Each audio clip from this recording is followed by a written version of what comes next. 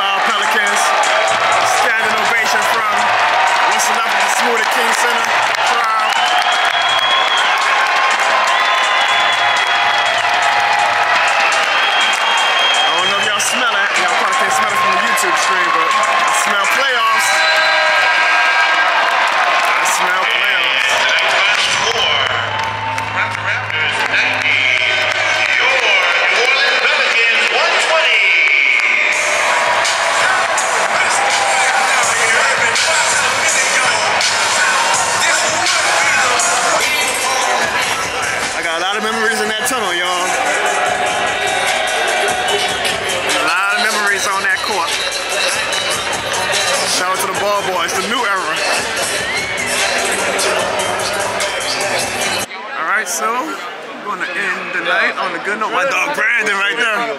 Um, y'all see where I'm at, VIP baby. I told you I'm a Pelicans legend. This is my area. All right, so we had a great time tonight. Did you, Clarissa? I don't want to speak for her, but she did have a great time. We are on the court with my dog Brandon and some of security. Y'all see that section right there? It should name that the Jono Barnes section. I, I made my name on that section 13 years as a ball boy. I took care of all the visiting teams. Uh, we're having a great time tonight. Appreciate the team for getting me on the court just to relive it one last time. Um, great game. Y'all don't see the score anymore, but we won. Now we got a big game tomorrow against the Grizzlies. And I'm, uh, I can't say it enough, guys. You guys gotta go catch out a Pelicans game, man. The team is doing their damn thing with the man, the legend, Joe Myers. That is one of the greatest announcers of all time, bro. So like I said, guys, check out the Pelicans. Great team, great atmosphere, great culture. like, a, like a family. Maybe I will. Say they want me back. They want me back. They want me back. That's my dog, man. So many people you meet. 13 years, you know, you're gonna meet some great people.